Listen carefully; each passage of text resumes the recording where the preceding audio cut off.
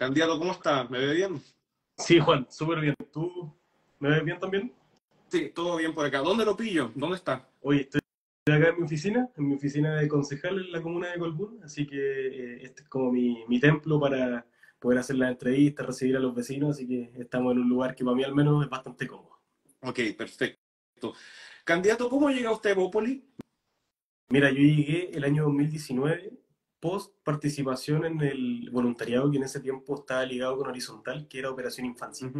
Eh, posterior a eso empecé a participar en el partido, tenía un compañero de universidad que era eh, militante del partido, y él me invitó a una reunión y sentí que encontré mi, mi casa política y me, desde ahí nunca más me, me he salido. Y he tenido la oportunidad de ir creciendo en el partido, así como también personal y profesionalmente. ¿Y por qué Bópoli y no RN o la UDI? Mira, en ese tiempo eh, teníamos acá un referente en la región del Maule que era Jorge Guzmán, que hoy día es diputado de la República.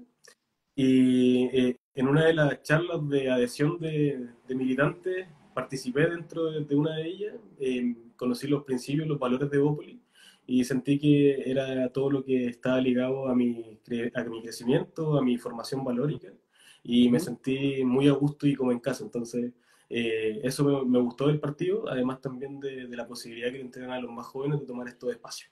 Así que estoy muy contento en ¿Cuáles serían esas diferencias valóricas con la UDI Mira, yo creo que eh, el sello de Opoli, más allá de, lo que tiene que ver con propiamente tal el tema valórico, tiene que ver también con lo que es propiamente el liberalismo. O sea, eh, Evópoli siendo eh, el único partido que profesa el liberalismo clásico de forma irrestricta, yo creo que es lo que más beneficia y lo que también me hizo sentir más cómodo desde un primer minuto.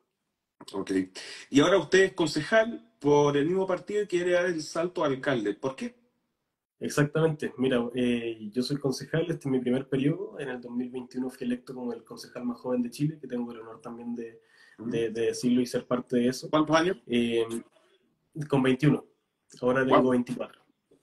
Y bueno, durante este eh, corto pero eh, abundante periodo de tiempo en la experiencia, eh, ido conociendo cómo funciona la administración pública.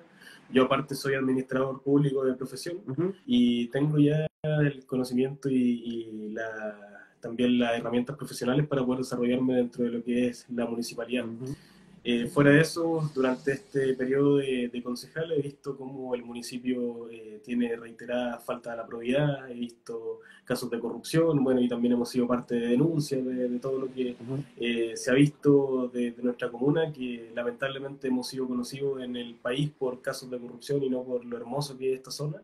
Y eso me impulsa y eso me da muchas ganas de poder dar el salto a ser candidato a alcalde y darle otra cara a, a nuestra comuna de Colbún desde un área más profesional y y, más capaz también de mostrar las verdaderas eh, atracciones que tiene nuestra comuna.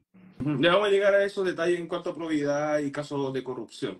Pero usted quiere ser alcalde con solo 24 años. ¿Qué le decimos entonces al votante en relación a su experiencia y tal vez madurez incluso eh, para ejercer el cargo? Se lo pregunto porque, eh, dada la situación país, el factor ser joven y nuevo en la política como que ya no prende tanto como antes. Sí, es Exactamente, bueno, eh, hemos visto también que lo mismo que tú dices, de repente los candidatos jóvenes somos bastante cuestionados por la inexperiencia que de repente podemos tener, pero eh, en estos tres años que he tenido la oportunidad de ser concejal, eh, he tenido la posibilidad de poder aprender bastante de lo que es la misma orgánica municipal, de lo que es el funcionamiento del mismo municipio, y creo que ha sido más que suficiente también para poder darme cuenta de que dentro de las capacidades y de la, del área profesional de la que yo provengo, eh, tengo las capacidades suficientes para poder hacerme responsable de una comuna que eh, pese a, lo, a, lo, difícil y a lo, y a lo grande que es la magnitud de un cargo de ser alcalde de, la, de una comuna entera, eh, creo que estamos completamente preparados y, que vamos a tener la posibilidad, si es que la comunidad y nuestro pueblo de Colbún nos da la, la oportunidad en octubre de, de, poder hacerlo. ¿Se puede hacer respetar a alguien de 24 años como alcalde de una comuna pequeña? Por supuesto que sí. Ok. Candidato, vamos un poco con lo que mencionó antes, eh, como su rol de con su rol de concejal, usted dijo que fue, eh, que vio o ha estado al tanto de casos de corrupción y de faltas a la probidad. ¿Me podría contar un poco más al respecto? Sí, efectivamente. Bueno, nosotros nos hicimos eh, conocidos a nivel nacional en el año 2023, debido a que fue lamentablemente nuestra comuna de Colbún donde nacen todos estos casos de las productoras de eventos. Eh, nosotros dentro del Consejo Municipal revisamos todas estas contrataciones, todo lo que iba sucediendo en referencia a las contrataciones de productoras para la realización de eventos a nivel municipal y denunciamos y pusimos antecedente a todos los organismos competentes para poder eh, realizar las denuncias correspondientes en cuanto a lo que nosotros consideramos falta de la probidad. Incluso eh, hemos puesto en materia de, delito alguna de ellas como posible eh, delito en el Ministerio Público. Así que todas esas cosas han pasado en nuestra comuna y lamentablemente no hemos estado exentos de, estos casos de, corrupción. ¿Me puede explicar el caso de corrupción? ¿Qué hacían estas productoras de eventos? Sí, mira, nosotros acá dentro de la comuna de Colbún todos los veranos se realiza un festival. Eh, ese festival siempre se ha caracterizado por traer artistas de renombre, por eh, tener desproporcionados gastos dentro de lo que son las contrataciones de los mismos. Y dentro de lo que te estoy contando, en el año 2023 se trajeron bastantes artistas bien conocidos en el segmento nacional e incluso internacional. Y dentro de lo mismo eh, existió una denuncia de parte de uno de los mismos artistas debido a que eh, a él se le había pagado con un maletín de plata en el camarín y posterior a eso, eh, la orden de compra o la factura que emitió la productora había sido casi por el triple de lo que él había cobrado. Entonces, eh, esos son algunos de los antecedentes que tuvimos a disposición nosotros y eso está todo en manos del Ministerio Público hoy día y están averiguando si es que existe alguna comisión de delito. ¿Qué artista fue? Eh, fue un humorista, fue Dino Gordillo. Ah, ok, ya, vamos, a preguntarle a Dino Gordillo qué pasó. Sí, por supuesto. De hecho, él, también ha prestado, ha prestado declaración y muchos de los otros artistas que también estuvieron involucrados también eh, prestaron las declaraciones y evidentemente la Contraloría, posterior a todo el análisis que se hizo de las órdenes de compra, de todo este escándalo que hubo en nuestra comuna, eh, evidenció y comprobó el sobreprecio en el pago de estos artistas. Candidato, vamos ahora a materia ya propiamente tal de propuestas, independiente del tema de probidad, corrupción, que por supuesto es importante, también existen otros temas propios de cada comuna. Si yo tuviera que pedirle dos, ¿cuáles serían esos temas de mayor interés de la, de la comunidad de? Mira, yo creo que hoy día los dos temas de mayor interés, eh, en primer lugar, yo creo que la salud tiene mucho que, mejorarse en nuestra comuna. Y en segundo lugar, eh, nosotros estamos eh, visualizando mucho y estamos trabajando bastante en lo que tiene que ver con el empleo eso es algo de que nuestra zona eh, es, característico que, sobre todo en este tiempo más de invierno, tiene muchos problemas con la generación de empleo y hoy día la cesantía en nuestra comuna es, bastante abultada. Entonces, eh, trabajar esos dos temas yo creo que son fundamentales para lo que se viene. Eh, al igual que muchos otros candidatos que he entrevistado, me han dicho que el tema de salud y empleo es importante, etcétera, y yo creo que en eso estamos todos de acuerdo. pero ¿cómo? En lo concreto, ¿qué ¿Qué haría usted en materia de salud? ¿Cómo es la situación de la salud en la comuna de Pulmón? ¿Y qué haría usted en lo concreto? En lo concreto. Más allá de mejorar la salud, que todo el mundo me lo dice, eh, por su comuna. Exactamente, nosotros en el área de salud estamos trabajando con un equipo que, que es súper profesional, que hoy día está eh, trabajando en, en, materia y en propuestas que sean atingentes para nuestra comuna. Nosotros desde el año 2021 que contamos con médicos que trabajan 24 horas por el servicio de salud de nuestra comuna, eh, pero nosotros queremos, aparte de esa entrega de, de servicios, mejorarla aún más. Nuestra comuna de Colbún se encuentra a 30 kilómetros de la ciudad de Linares y a 60 de la ciudad de Talca. Por ende, es bastante recurrente que siempre que hay accidentes, que hay algún tipo de traumatismo, de lo que sea, eh, se tenga que trasladar a estos servicios que son de, más, de mayor complejidad a las personas que, que, se encuentran eh, en este estado de salud. Entonces lo que nosotros queremos en nuestra comuna, que aún no lo tenemos, es implementar un servicio de alta resolución, mayor llamado como un SAR, que tenga la posibilidad de resolver estos temas que de repente se pueden resolver a nivel, a nivel local, eh, y también implementando lo que sería una sala de radiología, ¿por qué no? Y una sala de imagenología que nos ayudaría mucho a descongestionar eh, lo que es propiamente dar el servicio de salud en nuestra comuna y también eh, dejar de derivar a las ciudades de, de referenciales como Linares o Talca. ¿Cómo, un alcalde puede aportar en eso que usted acaba de mencionar? Por ejemplo, aumentar los recursos para la alta resolución y una sala de radiografía. Mira, nosotros en la comuna de Colbún tenemos un presupuesto que es bastante abultado. Nosotros, eh, gracias a un convenio que existe con las automotoras que están presentes en nuestro país, eh, pasó a ser un ingreso del primer orden lo que son los por concepto de permiso de circulación. Eso al día de hoy significa que Colbún tiene un presupuesto de 20 mil millones de pesos aproximadamente que si lo llevamos a nivel regional tenemos casi un quinto del presupuesto de la región completa, que se divide en 30 comunas. Entonces, eh, hoy día, eh, gracias a Dios y gracias también a la gestión que se ha estado realizando en el municipio, mm. eh, tenemos la, esta bonanza que, que permite que, que Colbún tenga mucho dinero y, y, por eso también no hemos caído en temas de, de falta de dinero o, de deuda. No hay problema de claro, no hay problemas de plata en nuestra comuna y eso es bastante favorable. Yo creo que lo que falta aquí hoy día es priorizar las lucas que hay e invertirlas donde de verdad corresponde. Nosotros al año le estamos traspasando casi 700 millones de pesos al Departamento de Salud de nuestra comuna y si inyectamos 300 millones más, o sea, si llegamos a los 1000, nos permitiría eh, crecer en infraestructura, nos permitiría eh, crecer en resolutividad y nos eh, permitiría crecer también en los diferentes programas sociales que nosotros queremos implementar. 300 millones me dijo de aumento. Exactamente. Ok. Pasemos ahora a empleo. ¿Cómo puede generar empleo la Municipalidad de Colbún para su gente y qué tipo de empleo? Mira, nosotros estamos barajando la posibilidad y lo hemos conversado con algunos municipios de nuestro país, que eh, la mejor manera de poder combatir el desempleo es a través del emprendimiento. Y para ello en nuestra comuna de Colbún tenemos bastantes emprendedores, eh, de hecho acá veo varios conectados de los que van apareciendo en el feed de acá de Instagram, que aprovecho también de mandarle un saludo.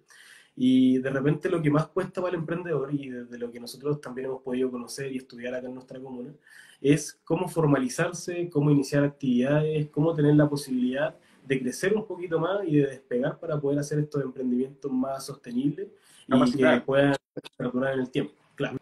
Entonces, eh, nosotros a través del municipio queremos crear lo que sería la Oficina de Emprendimiento e Innovación, que la vimos en la Municipalidad de La Reina en Santiago, la hemos visto en algunos municipios del sur, que es básicamente una oficina que esté compuesta por diferentes profesionales del área del emprendimiento, que le dé la posibilidad a los vecinos de poder formalizarse, de poder postular a proyectos Capital Semilla, Capital Abeja, los mismos fondos que dispone el municipio para el emprendimiento, fondos regionales, fondos nacionales, que eso le va a dar la posibilidad a los emprendedores no solamente de poder apalancar recursos para cada uno de sus emprendimientos, sino que también de crecer a nivel comunal y a nivel regional. ¿Solo a través del emprendimiento? ¿Solo a través del emprendimiento? No, eh, también queremos ver la posibilidad de poder apalancar recursos de industria. Acá nuestra comuna de Colbún tiene muy, baja, muy, muy bajo nivel de industrialización. De hecho, al ser una comuna que eh, hasta la fecha se ha dedicado eh, netamente a la agricultura, nos ha faltado mucho poder crecer en lo que es el área industrial. De hecho, nuestra comuna de Colbún hoy día también se caracteriza por tener una de las industrias, una de las empresas más grandes a nivel nacional dentro de nuestro territorio comunal, que es la empresa eh, Colbún, generadora de energía, eh, pero que no genera muchos empleos para nuestra comuna en general. Entonces, de la mano de eso, queremos ver la posibilidad de atraer otra industria a través de este nexo que ya tenemos y ver la posibilidad de que eh, exista la posibilidad de que se instalen en nuestra comuna industrias que generen mayor empleo, ya dígase eh, empresas del área de la fruticultura, packing, todo lo que tiene que ver con eso, y reactivar un poco la economía desde ese sentido. Y la otra lista que estamos barajando tiene que ver netamente con el turismo, que nuestra comuna de Corbún por años ha estado postergada en lo que es turismo. Hemos crecido muy poco en el área turística y yo creo que tenemos un potencial que es extraordinario eh, con todos los atractivos turísticos que tiene nuestra comuna para poder potenciar aún más lo que es el área turística. ¿Cuál es ese potencial turístico de Colbún? Mira, nosotros tenemos eh, la fortuna de tener un lago que es un embalse artificial que a través de la misma generación de energía. Eh, nosotros acá en nuestra comuna también tenemos las artesanas de Rari, que son las artesanas de CRIN, que son patrimonio humanos vivos, que están reconocidas por la UNESCO. acá dentro de nuestra comuna, en esta localidad de Rari, es la única, el único lugar en el mundo donde se hace tejido en crino. Entonces, eh, eso, a eso es lo que tenemos que empezar a darle brillo y a potenciarlo aún más. También tenemos a una hora de, de Colbún, eh, localidades muy cercanas como Vilches, a tres horas tenemos eh, El Melado, que también está dentro de nuestra comuna de Colbún, que tiene los petroglifos del Guayquivilo. Entonces, todos estos atractivos turísticos y que muy pocos se conocen de Colbún son los que no han sido potenciados ni explotados y que nosotros queremos ver la posibilidad de poder sacarle mucho más brillo y que se traigan muchos más turistas a nuestra comuna. Vamos con el tema de Colbún, la empresa generadora. ¿Cuánto recibe la comuna de Colbún por efectos de la empresa Colbún? Mira, nosotros actualmente eh, estamos recibiendo por conceptos de patente comercial o patente eh, industrial de parte de la empresa de Colbún aproximadamente 30 millones de pesos al año. La pagan en Colbún la patente. Claro, esa, esa patente de funcionamiento la pagan en Colbún eh, pero fuera de eso, eh, Colbún como empresa me imagino que debe tributar mucho más en, la comuna donde ellos tienen su casa matriz, que me imagino que es Las Condes. Entonces, eh, eso realmente genera una, una distorsión, pero ellos pagan su patente acá en la comuna y otras empresas generadoras de energías como Enel también pagan acá en nuestra comuna eh, alrededor de 130 millones al año. Eh, siempre van dejando eh, sus pagos por conceptos de patente y también tienen arraigado un fuerte compromiso en lo que es la responsabilidad social empresarial, donde siempre están colaborando también con pavimentos de camino, están colaborando... Colaboran con, el desarrollo de la comuna. Sí, efectivamente, siempre están súper vinculados con lo que es el desarrollo de la comuna en general. ¿Cómo evalúa el aporte de la empresa Colbún a la comuna de Colbún? Mira, ¿Cree que es suficiente? Sí, yo lo evalúo como un aporte bastante positivo. Yo, eh, en estos tres años que me ha tocado ser concejal, eh, he participado, por ejemplo, en un pavimento de una localidad cercana acá de Colbún, que es Santa Elena, que es un pavimento de casi dos kilómetros. Eh, se han mejorado canchas deportivas, se han mejorado sedes sociales se le ha dado la posibilidad también a los vecinos de poder conocer el, entorno en donde ellos trabajan y qué es lo que realizan en sus instalaciones. Eh, también se apoya de manera monetaria a los clubes deportivos, entonces yo creo que tienen una presencia que es bastante eh, potente dentro de nuestra comuna y que sí han logrado impactar positivamente en el entorno en, en, el que ellos están desarrollándose. Evidentemente siempre falta más y uno siempre va a querer más de ellos. Aquí ¿Podría ser más? Sí, podría ser más, efectivamente. Yo creo que eso es una de las cosas que nos faltan hoy día, o sea, el vínculo y potenciar aún más lo que eh, es la participación de los privados dentro de la comuna. Yo creo que lo harían muy bien y creceríamos a una velocidad mucho más rápida en el caso de que fuera posible. En el marco de las campañas, tanto de concejal como ahora de alcalde, ¿usted ha recibido algún apoyo por parte de algún funcionario de Colbuno directamente de la empresa? No, ninguno. Ok. Sí, es bueno preguntarlo para tener claridad de qué punto de vista se están diciendo las cosas. Por supuesto. que hay que preguntar. y, en materia, de seguridad, si, siempre, si bien siempre se cataloga o se enfoca, mejor dicho, el tema de la seguridad Santiago y quizás a urbes más grandes, en realidad es algo que está pasando a nivel nacional. ¿Cómo ve el tema de la seguridad en la comuna de Colbuna? ¿Ha visto alguna diferencia en, los últimos años? ¿Ha empeorado? ¿Ha mejorado? Sí, mira. Eh, lamentablemente eh, ha ido empeorando a través de los años lo que es la percepción de seguridad en nuestra comuna de Colbún. Eh, uno tiene que ser agradecido también y, nuestra comuna, eh, al mantenerse de repente más al margen y al estar más lejos de estas grandes ciudades, de repente no tenemos tantos casos eh, de hechos delictuales, pero lamentablemente cada vez van llegando más y yo creo que este es un momento súper apropiado para poder cortar esos hechos de raíz y que no los tengamos presentes en nuestra comuna. Hace pocos días atrás, acá en nuestra comuna, eh, vivimos la mala experiencia, uno de nuestros vecinos vivió la mala experiencia de sufrir una encerrona donde le robaron su vehículo, donde eh, apareció después Portal, que entonces eh, esas cosas de a poco van llegando a nuestra comuna y yo creo que el momento es ahora de poder cortar con eso y de buscar la posibilidad de que se implementen aún más medidas de seguridad dentro de lo que es nuestra comuna de Colbún. ¿Cómo?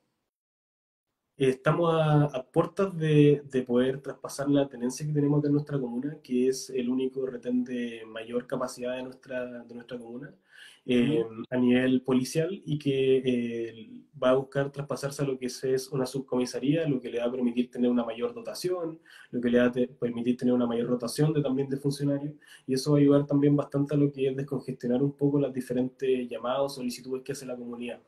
Fuera de eso, nosotros estamos trabajando también en una propuesta en materia de seguridad ciudadana a nivel municipal, donde nuestra idea es poder trabajar en base a la descentralización y desconcentración de las oficinas de, seguridad, eh, colocando ojalá eh, una oficina o una caseta de seguridad en cada uno de los sectores de nuestra comuna, lo que le va a dar acceso a la comunidad de poder tener una percepción de seguridad mucho más cercana de sus lugares, y eso va a estar también directamente conectado con lo que sería la central de seguridad ciudadana. ¿Existe actualmente esa unidad central o la va a crear usted? No, existe la unidad de seguridad ciudadana, eh, que también aprovecho mandarle un saludo también a los funcionarios, porque también desempeñan una labor que es súper importante. Eh, nuestra comuna hoy día yo creo que a nivel de la provincia de Linares tiene una de las seguridad ciudadanas mayormente equipadas, tiene, tenemos ya eh, cuatro vehículos de ronda permanente, más otros dos que se realizan en rondas especiales. Eh, funciona de una manera que es bastante profesional. Eh, eso al menos es súper rescatable de la administración actual. Eh, pero siempre se puede mejorar un poco más y lo que nosotros queremos hacer es poder acercar esta oficina a los territorios y poder eh, descentralizar un poco lo que es eh, esta oficina y poder llevarla a cada uno de los sectores de la comuna de Huelbún. Esto evidentemente tiene que ser de manera pausada, por etapas, pero eso sería el, el fin último de nuestra programación y lo que queríamos hacer también en nuestro programa de gobierno. Usted mencionó hace pocos segundos atrás que ha aumentado la percepción de inseguridad en la comuna de Colbún. ¿Ha aumentado porque han aumentado los delitos o cree que es porque hay mucha tele? Yo creo que porque han aumentado los delitos. De, quizás no son delitos de tan alta connotación social, pero sí son delitos al fin y al cabo. De repente lo que pasa mucho en nuestra comuna de Colbún es que eh, ocurren delitos, no sé, hurtos, robos, eh, ingresos a, domicilio, y las personas lamentablemente por no meterse en problemas eh, no realizan las denuncias que corresponden, pero al final siempre se saben de estos casos que lamentablemente están siendo cada vez menos aislados y que eso también va generando una percepción de inseguridad mucho más permanente dentro de la comunidad. Ok. Candidato, ¿es usted el candidato alcalde más joven de Chile? Sí, creo que sí, Juan. Creo que, eh, o sea, la verdad no sé si en alguna otra comuna haya algún candidato de, 24 años. Me acuerdo que cuando fui electo concejal el 2021 había eh, un colega, porque también administrador público, si no me equivoco, de la comuna de Santa Cruz, que también tenía 21 años, pero desconozco si tenemos alguna diferencia en meses. ¿En qué año nació?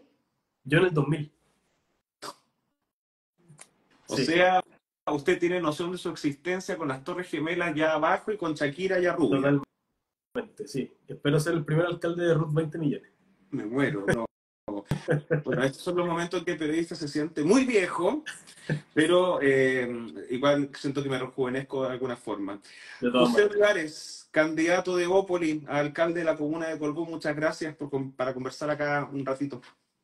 Muchas gracias a ti, Juan. Te agradezco también la, la posibilidad que das de poder eh, dirigirnos no solo a tu público, sino que también a la, a la comuna de Colbún. Eh, a toda la, la, gente que nos está siguiendo, que, que, está pendiente de nuestra candidatura, muy contenta por la participación que, que tuvimos en esta entrevista. ¿En serio? Agradecerte por el espacio. Sí, de verdad. De hecho, he visto muchas personas que, que han ido comentando a lo largo del feed y la mayoría son de acá de la comuna y eso me, me alegra mucho de que eh, se pueda dar la posibilidad de que personas jóvenes como yo y tengan la posibilidad de, de poder competir con cargos que son de, de tan alta connotación como, como, ser alcalde de una comuna. No, buenísimo. Entonces un saludo a toda la gente de Colbún que se sumó acá. Síganme en Instagram si quieren ver más entrevistas. Candidatos, muchas gracias nuevamente por su tiempo acá. Muchas gracias a ti, Juan. Que esté muy bien. Chao, chao. mucho. Chao, chao.